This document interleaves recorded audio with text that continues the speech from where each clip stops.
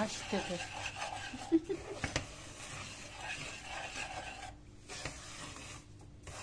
Daha kavruk şey galiba. baksana. Güzel. Bugün de irmik helvası yapalım dedik arkadaşlar. Ben irmik helvasını çok yapmıyorum. Yemesini birkaç yerde yedim. Çoğu hamur gibi güzel değildi. Biraz az kavurmuşlar. O da bana lezzetsiz geldi. O yüzden evde yapmıyorum.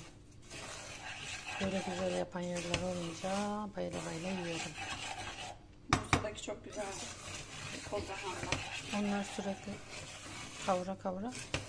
Biraz Aynen da, rengi biraz da ustası ustası iyi bence yapan. Yoksa çok şey yapıyor. Merhaba arkadaşlar. Bugün de canımız irmik helvası çekti. Biz de dedik bir tencere kavuralım. Herkes bıkana kadar yesin. İyi mi ettik kötü mü bilmiyoruz. Güzel şeyler çok yeniyor. Ondan sonra sağlığa etkileri biraz kötü oluyor. Ama işte yapmayınca da olmuyor. Olmak üzere şimdi şerbetiyle buluşturacağız. Fokur fokur.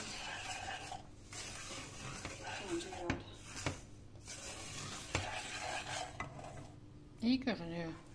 Haşhaş gibi olmuş. Haşhaş gibi olmuş. Taneli ya. Tık tık tık. Bu un gibi şey olmuyor. Çok belli olmuyor diğer renk olarak renk değişimi. Tabii ki yine başladığımız değil rengi. Aynı aynı ya bence. İşte çok belli etmiyor. Un gibi belli olmuyor renk değişimi. Şu an aslında un helvası kadar olmuştur herhalde. Yani. Tamam mı kıvamı? Bence iyi. Dökelim mi? Riske atmayalım aynen. Çok bunu renk. Ben başlıyorum En dökmeye. azından ben kestireyim. Bismillahirrahmanirrahim. Şey Dökeyim mi? Bir dakika. Kapağını yanımıza alayım.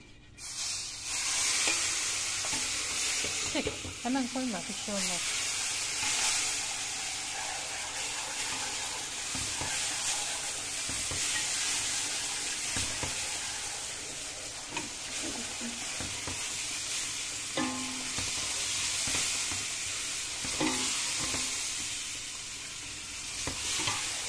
Var elime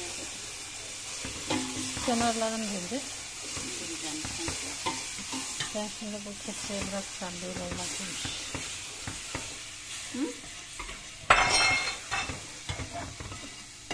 Döküyorum. Yetmez yine. Önce çeker onu önce deneyim.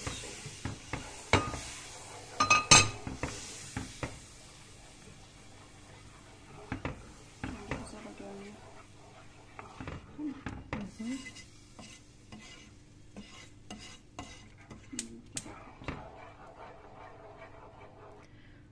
Cıvık gibi oldu diye panik yapmayın. Çekecek. Biraz sonra çekecek. Tam kıvamını alacak. Ağzına peçete kapatmasan ne olur?